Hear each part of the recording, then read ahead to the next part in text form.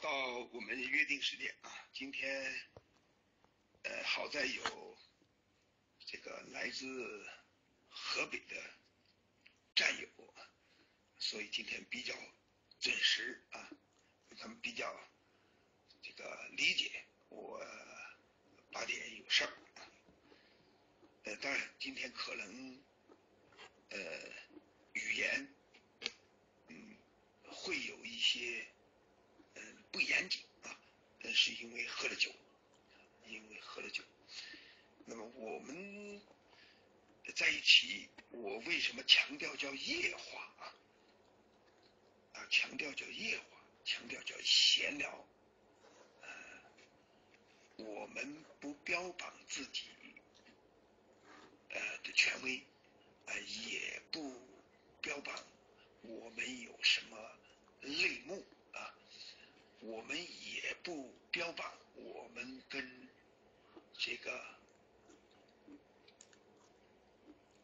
呃主管或者执行层啊有什么关系？呃，我们只是根据我们啊对事物的了解、认知以及我们自己的呃这个知识储备和我们。认知能力啊，对发生的事情啊进行梳理，啊进行这个分析啊进行预判而已啊，呃，闲谈不论是非。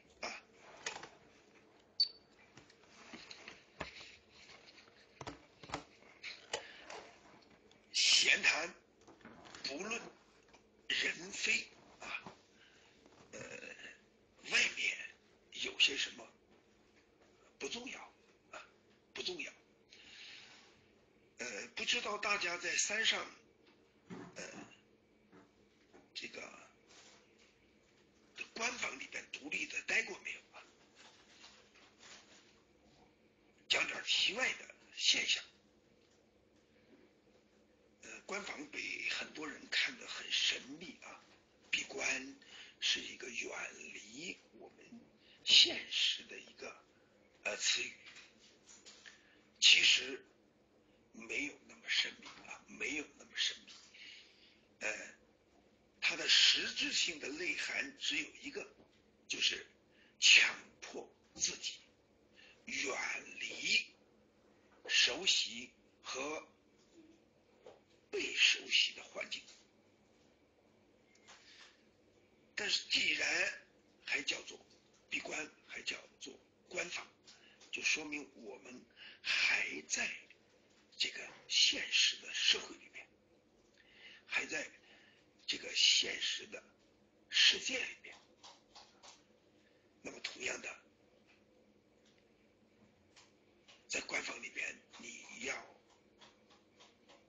面对要去克服自然界必然发生的一切现象和事物，比如说风雨雷电，比如说未知的阴行啊，什么意思呢？当你一个人。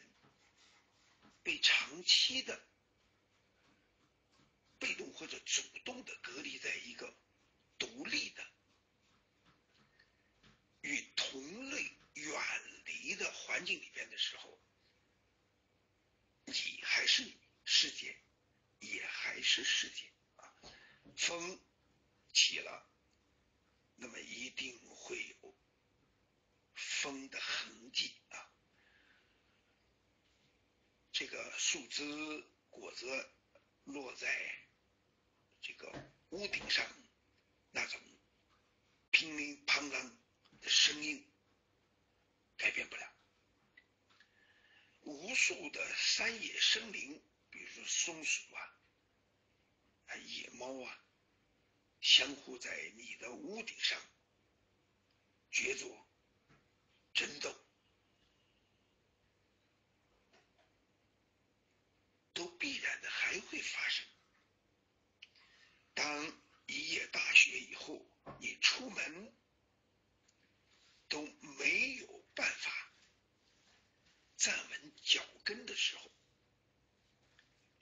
发现你还是这个现实和这个世界的人啊人。当夜半狂风大作啊，雷雨交加，或者野生动物在你的屋顶上这个蹦跳。追逐都会给你带去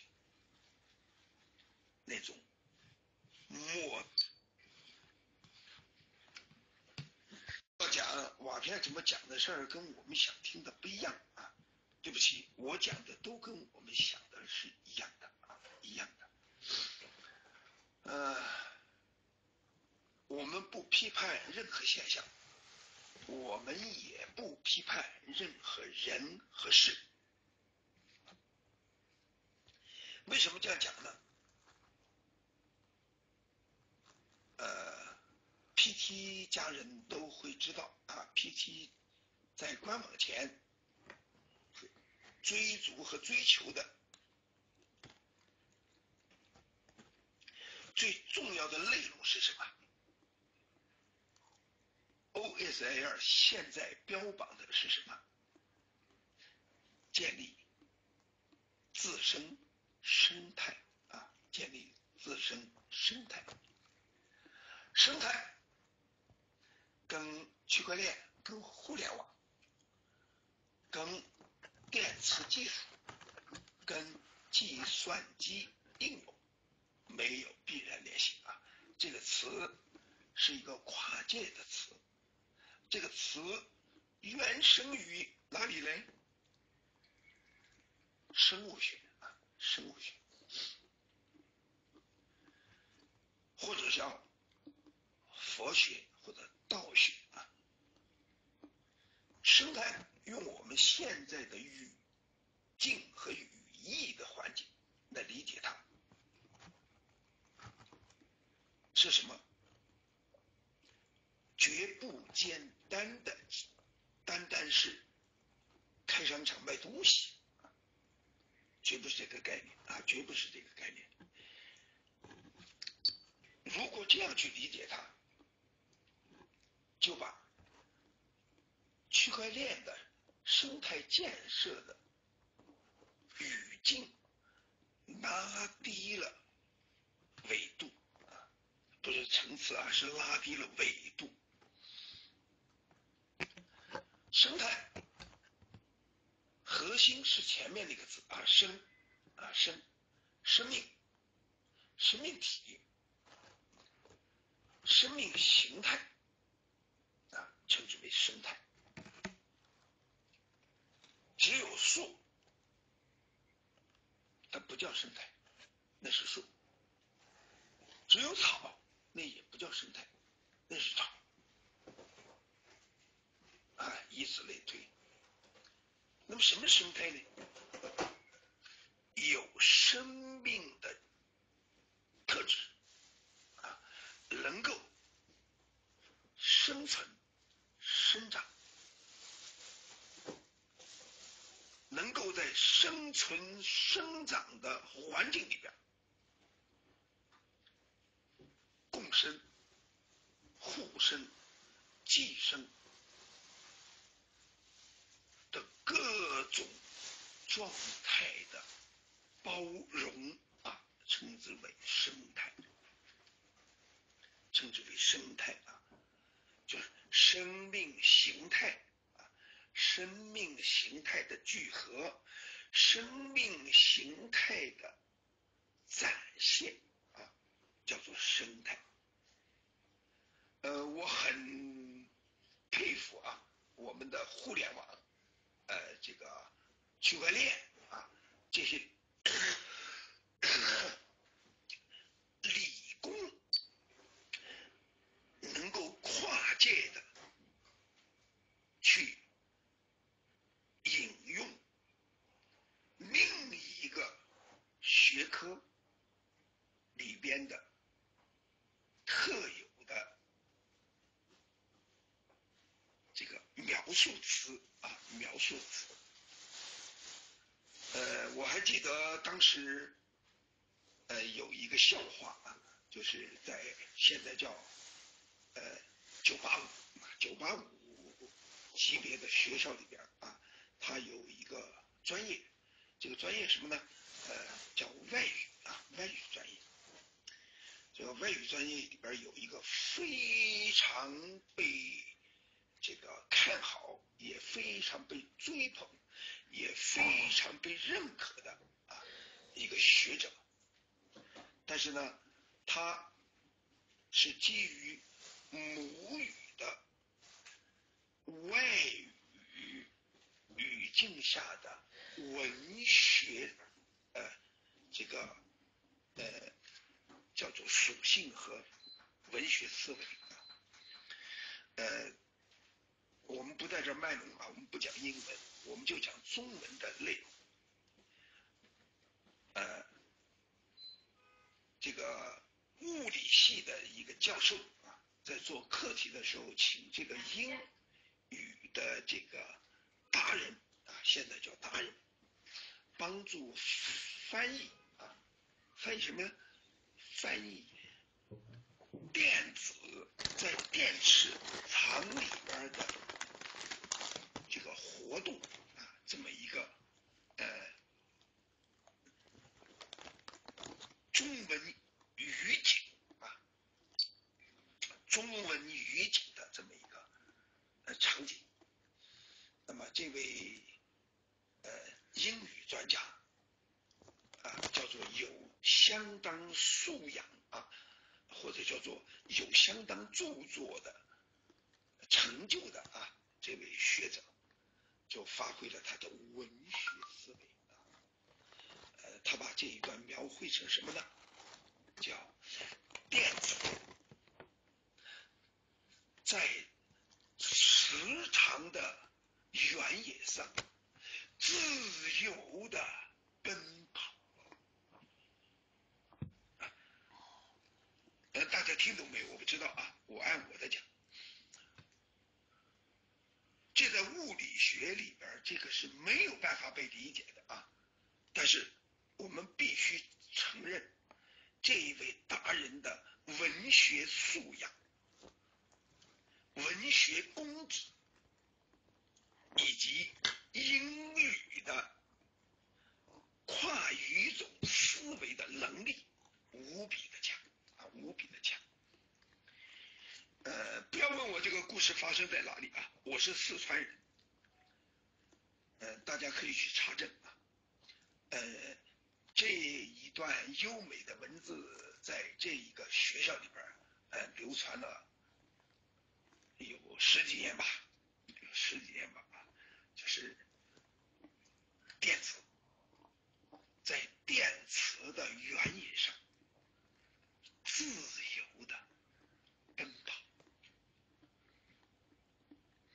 我们不得不承认啊，他的文学水平，他的文字造诣，他的思维和文学概括的能力，概括的能力。但是大家稍微冷静一点就可以知道。在物理学的学学术语言里面，不需要装饰啊，也不需要渲染，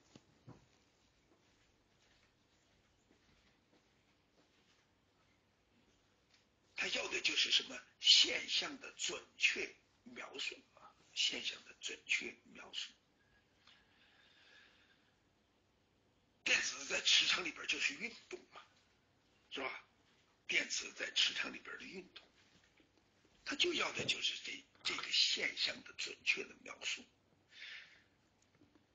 呃，举这个例子啊，举这个例子，可能是因为今天喝酒了，我也有一种文学的，呃，叫做这种思考啊，或者叫做这种冲动。为什么讲这个话呢？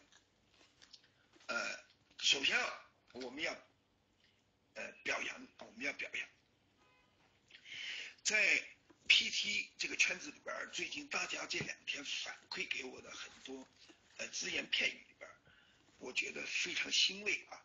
以前喊单的、喊时间的、呃搞天气预报的、呃搞这个类似啊这样的很多达人啊或者叫老师啊，呃现在都开始转换语境，都在用各自啊对事物的本身属性的一种诠释啊。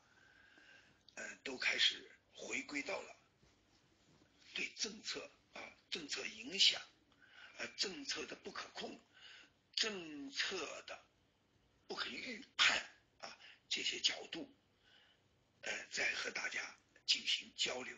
我认为啊，这是一种提高啊，这是一种提高。我们乐见这样的呃场景啊，这样的氛围。这反而好了，使很多啊，使很多呃被各种啊叫做带有目的或者不带目的被目的所左右的一些声音啊，比如说某月某月某日开。某年某月某日落地，某年某月某日会看到什么样的结果？啊，这样的，呃，叫做制造就思维混乱乱的这种现象啊，现在呃正在被慢慢的呃这个弱化啊，大家开始去研究政策，去解读政策。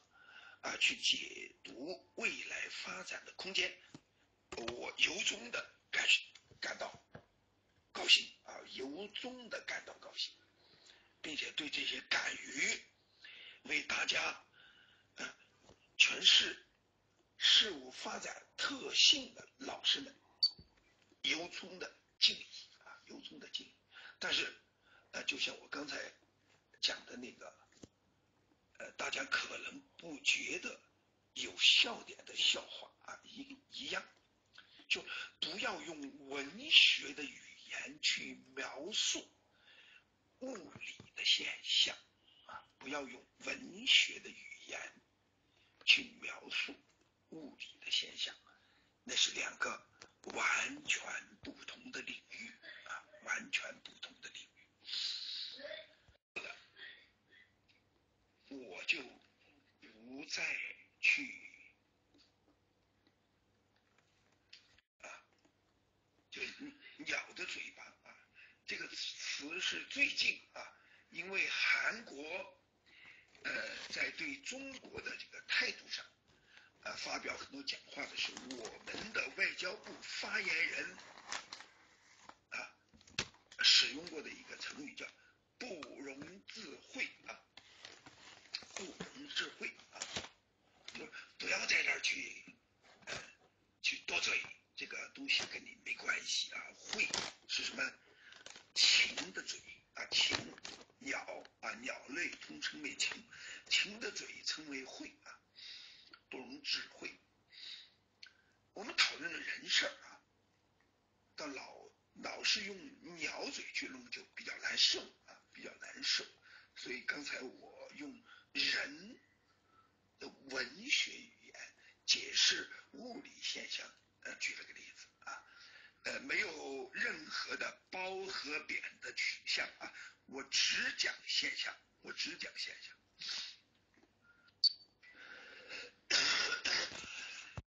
比较反感，呃，说我呃的意见，只要我发表这个。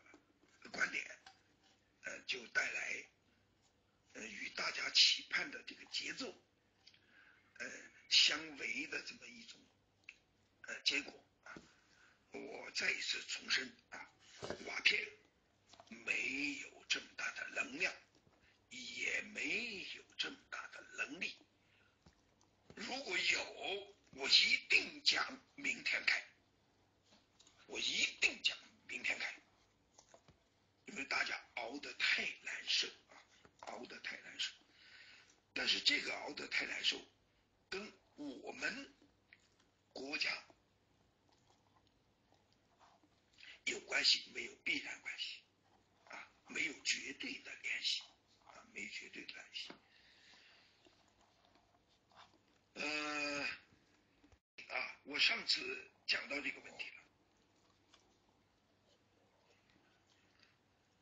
最近，美国发了疯一样的对数字货币，各种平台、各种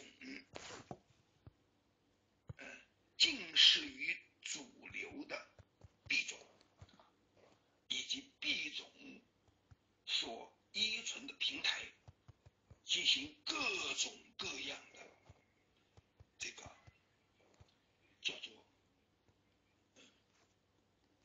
传统金融的法律呃性的这个追求啊，美国在最近啊用尽一切办法啊，这个美国的 SEC。发了疯一样的，把所有的数字货币货币的项目啊，以及平台，挨个的进行这个呃起诉啊，或者制造恐慌啊，这个弄完了币安啊，弄这个 Coinbase。然后是 S O A R、Eddie、The、Matic、Fair 凡是市值靠前的啊，现在都被美国列为了证券。那么列列为证券的原原因和本质是什么呢？监管。监管美国所谓的监管的本质是什么呢？利用美国所处的秩序、规则、霸权制定者的位置啊，来制造紧张和恐慌啊，紧张和恐慌。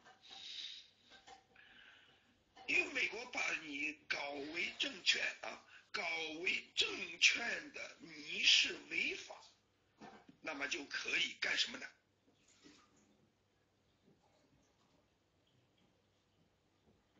下架你的代码。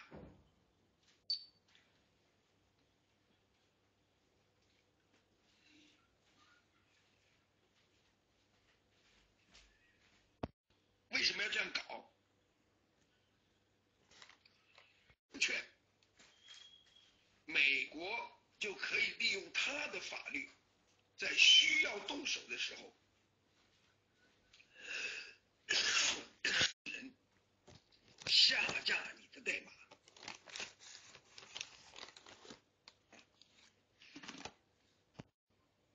连带到你的关联账户地址和平台。而这些都得乖乖的配合他对你的冻结。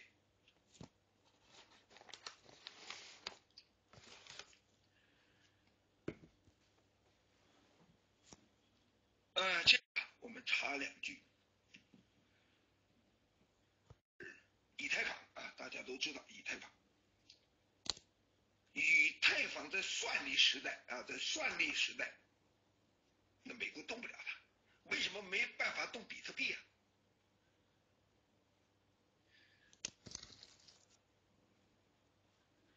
去思考，就会发现一个问题：凡是美国要动你的，都是你的中心化相对比较显著的项目。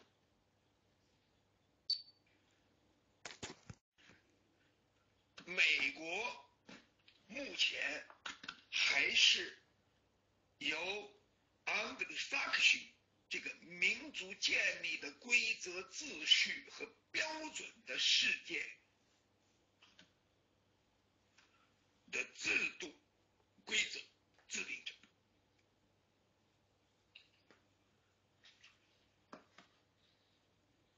美国啊，现在世界上最大的那个呃，我们航道里边最著名的那个平台就叫 Coinbase 啊。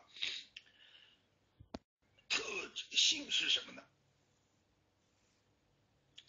它是美国的一个合规的上市公司啊，合规的上市公司。如果不合规，它就没有办法在美国上市啊。它是美国的一个合规的上市公司。那么，美国的合规上市公司最重要的特质是什么呢？它的天然属性。就必须是配合监管，配合监管。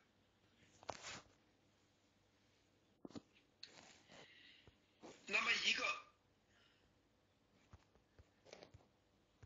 美国的合上市公司，现在成了美国要对它进行威慑和威胁的。平台。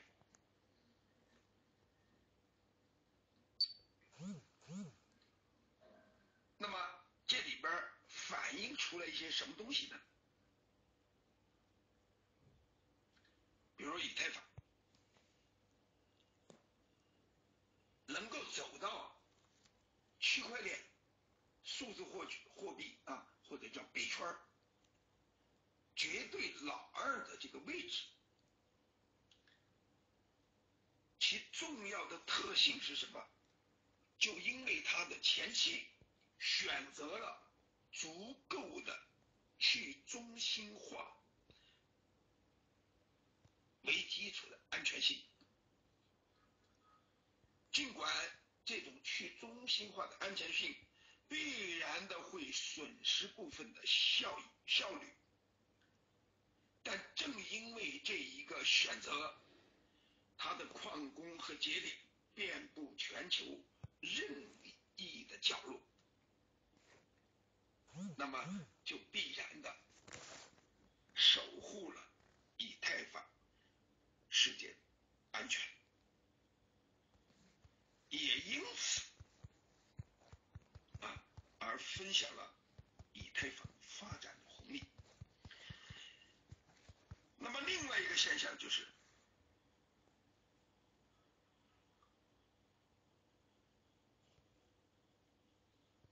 美国起诉币安的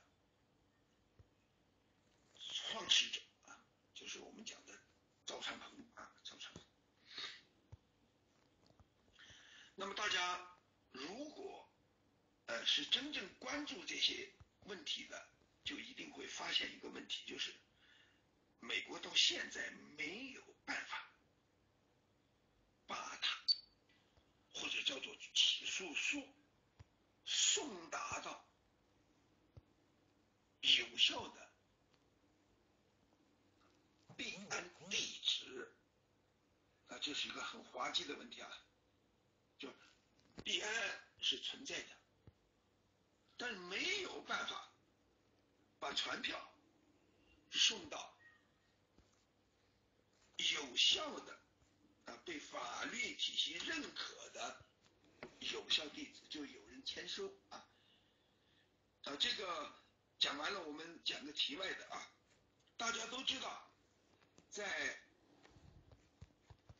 呃一九年官网以后的年底啊，美国的呃饶博士啊，当时也讲到要起诉 PT 啊，要起诉 PT。呃，美国确实啊也有把 PT 立案的案例，呃，当时也存在一个问题，就是这个传票 送到哪里，结果最后啊，大家在座都知道，送到哪里呢？送到了新加坡一个疑似是与 PT 啊有关联的啊一个在新加坡注册的啊基金公司手里边去了，他送不到 PT 的手上，为什么呢？啊，这是一个很很有意思的一个现象了。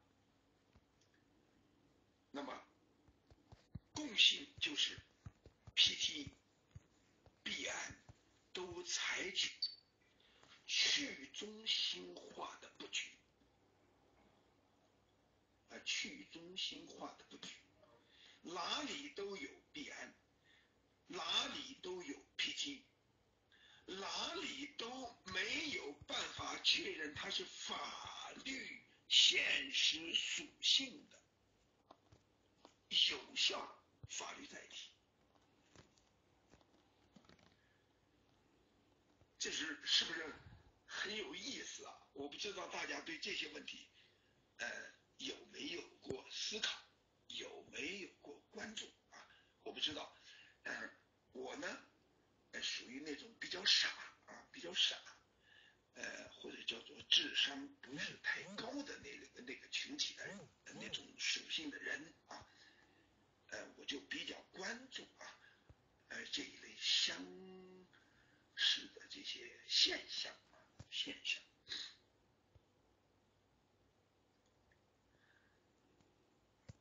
那么估计啊，估计或者我预测，美国最后只能采取一个办法，因为赵长鹏连居住的具体的信息。都没有啊！这个人在，确实在，啊，必然因他而起，因他而发展，因他而存在。但他在哪儿？用我们中国话讲叫居无定所啊，居无定所。当然，这个居无定所不是贬义的啊，就是没人知道而已啊，不是说呃像流浪汉一样的那种居无定所，不是这意思啊。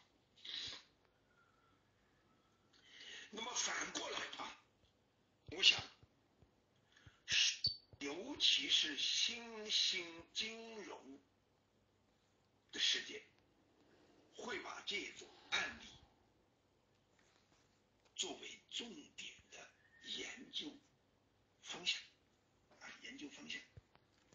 当然，不排除美国会利用它的世界。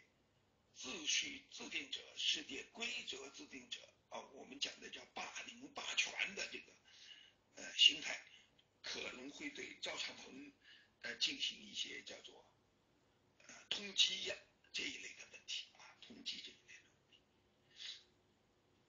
那么我们这讲的是什么呢？是呃现象啊，是现象。好，现象讲完，我们来分析一下。这个现象后面到底是什么？啊，现象后面到底是什么？呃，先讲呃微观的部分啊，微观的部分。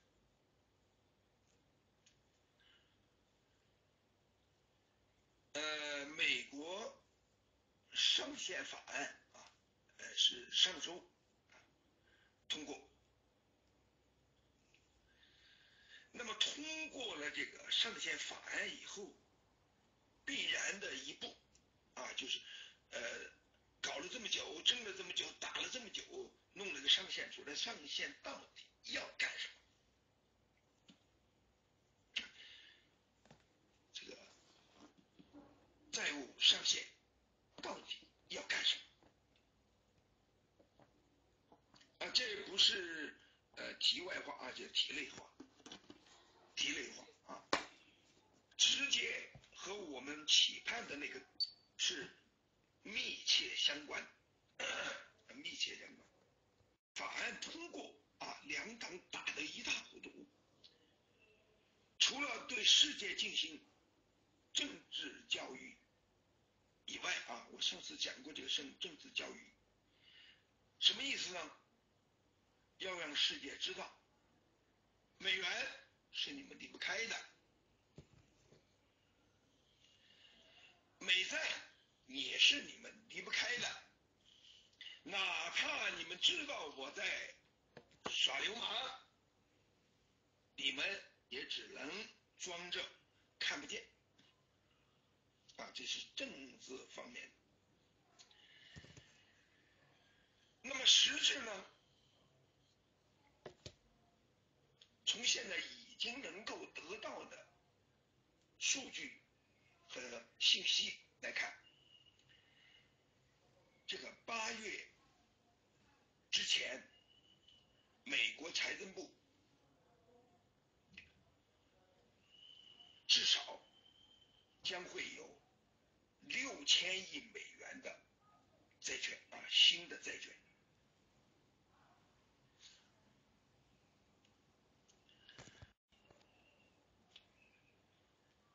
那么已经公开的内容，我们知道，实际上就是在六月十五号的当天，美国财政部新发行的债美债啊，就国家债券，就会超过一千六百亿美元。那么问题就来了啊。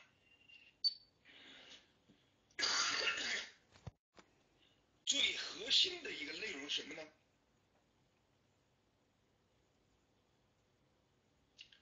市场流动性，啊，市场流动性。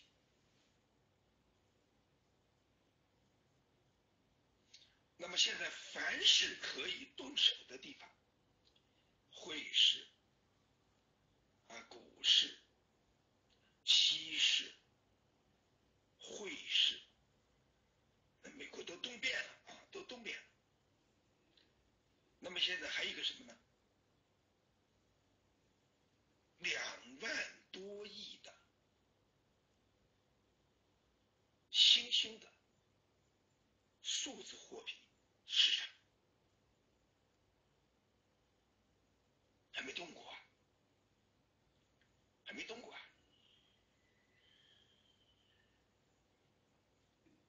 那么这个市场两万多亿是什么呢？正面的讲，就大家讲的共识啊，共识。另一个方面来讲，就是什么呢？避险啊，避险。我一直说我祝福和祝祝贺啊，大家，因为你们。啊，预先的、先知的进入了这个呃领域啊，你们将会获获得因你们的认知或者叫做你们的这个嗯闯进啊，或者叫做你们的这个嗯赌性，而带来的必然的财富转移。的机会啊，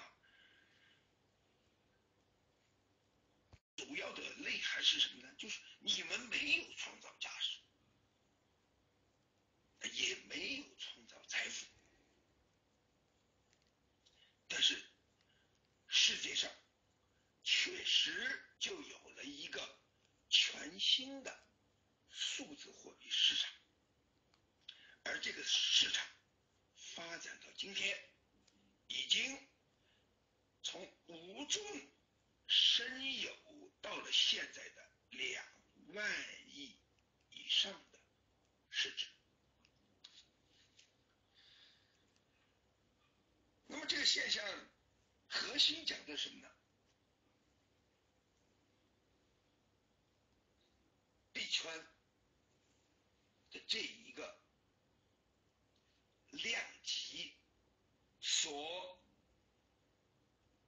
存在的、承载的和聚拢的是流动性啊，流动性。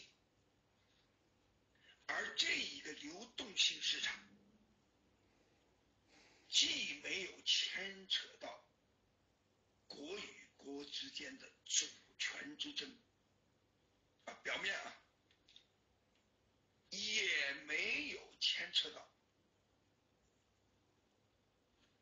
集团与集团之间的正面。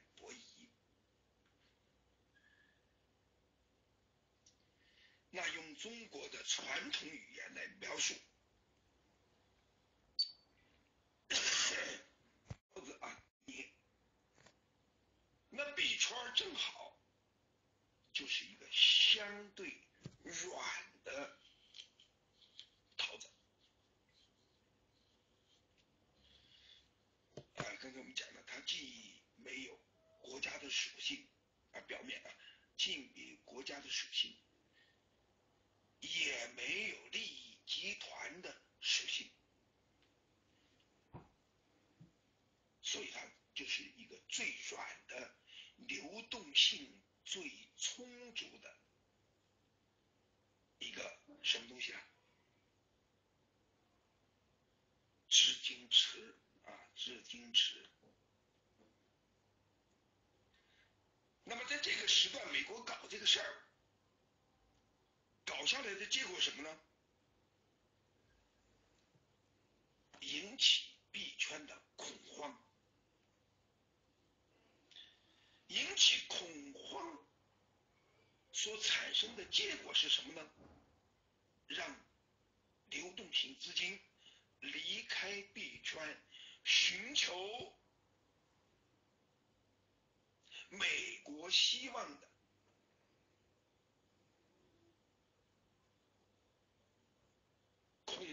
群体需要的美国的在世啊，债市。他习惯的语言讲，这就是一场流动性啊，流动性战争。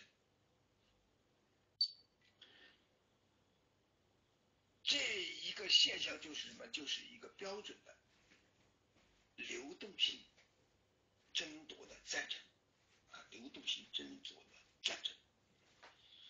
那么这个呢是微观啊，微观就是局部的啊一个呃叫做分析啊，分析就为什么在这个时候突然出现这样的现象啊？还是那句话啊。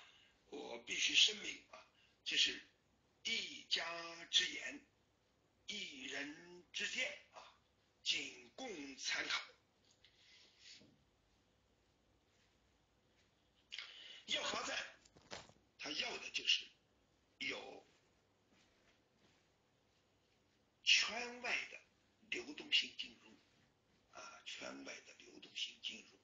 那么最容易的就是在币圈去。弄一下啊，叫做什么呢？以前围猎啊叫金鸟金兽啊，以前的捕捕鱼也叫金鱼金群，什么意思呢？那那个不宽的河沟啊，用网做出一种漏斗形的这个流网。难在下游，在上游让一帮人拿着带铃铛的这个呃各种器具啊，在水里边邦啷邦啷邦啷，呃去去去去去搅动啊，惊起这些鱼顺着水沟往下跑啊，这一跑就跑到那个流网里边去了，叫金鸟驱鱼啊，金鸟驱。这微观的啊，那么宏观的来看呢，现在已经可以不去避讳呃这个语言了啊。前两年讲到这个话题，我非常难受，因为这个话，呃，我们在平台上，呃，在公开的资料上还看不到，呃，就不好去表述它啊。我们国家要在一个新的领域里边，啊，去建立我们的规则，我们的标准。啊，这是习主席对任总行的期许啊，对任总行的期许期许啊，我们要建立我们的标准，我们的规则。现在就是借微本三的这个未来发展的。势头、风口、潮流，去建立我们布局十几年的规则、标准和游戏规则、标准和游戏。所以大家知道，一九年的九二四，全世界都在嘲笑中国。对数字资产、数字货币的打压，那么到了二零二三年呢，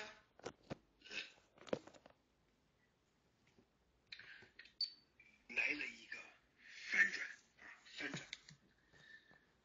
中国借用香港的桥头堡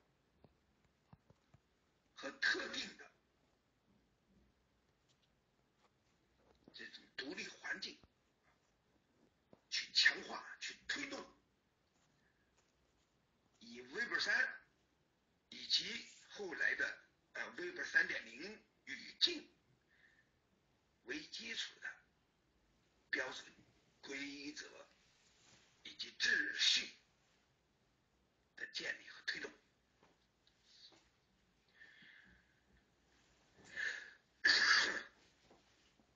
而美从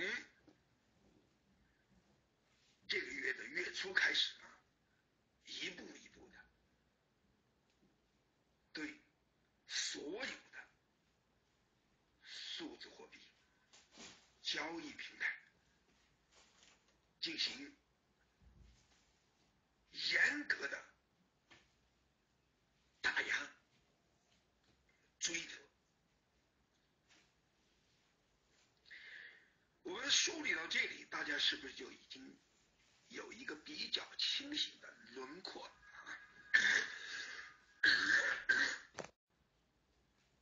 文化的内涵来讲，就世界上没有无缘无故的爱，也没有无缘无故的恨。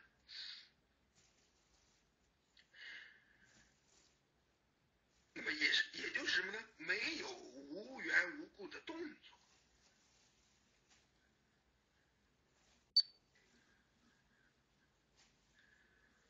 那么现在到了今天，我们就可以很坦然的去面对一个现象，就是这件事儿是我们国家在推动，美国感受到了战略空间的挤压。感觉到了利益被分割、分切、分配的切肤之痛。那么，从这个角度上，是不是一切就显得豁然开朗？豁然开朗。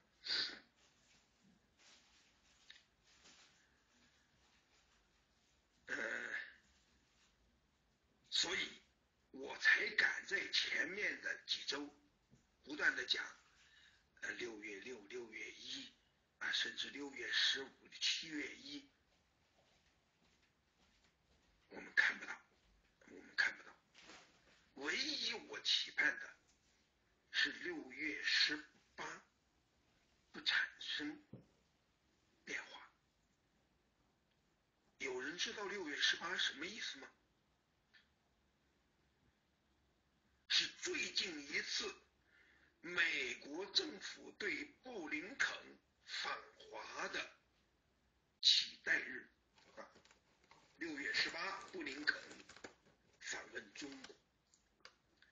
但是对不起，不管拜登和布林肯如何努力啊，有什么企图，但美国的国会那边始终要跟他拉垮。所以昨天啊，美国出现了一个中国的一个法案啊的落地，那这个法案落地比那个打气球所产生的中美关系震震动还更大。所以我现在唯一的就是十八号布林肯能够来到中国，并且在一周之内啊，我们能够看到中美的。联合声明或者公报。那么，由于出现了美国的这个针对中国的法案，就是取消中国呃这个叫做发展中国家地位的那个法案，不对现实中的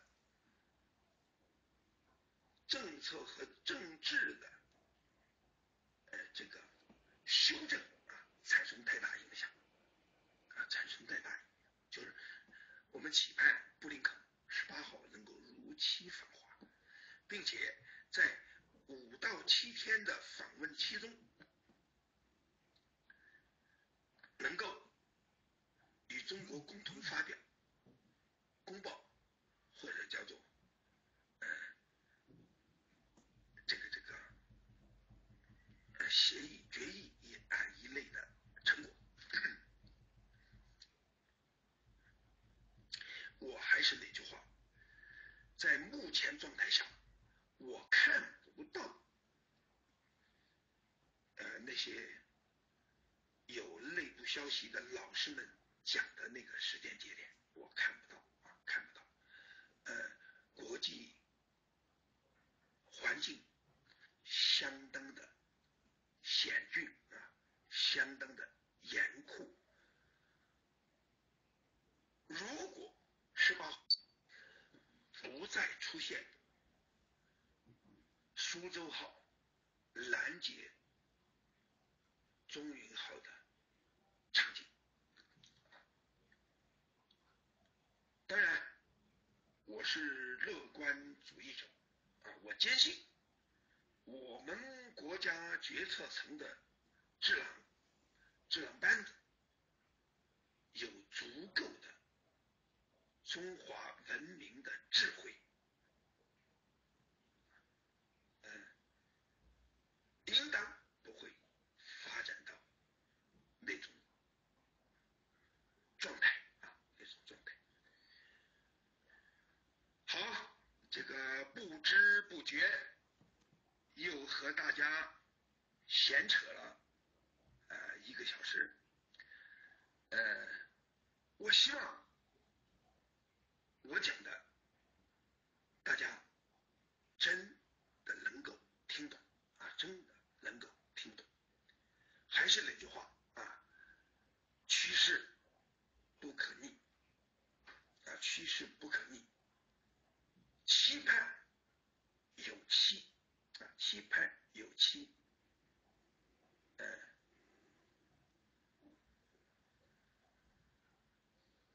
叫做节点或者类目可以修移啊，可以修移。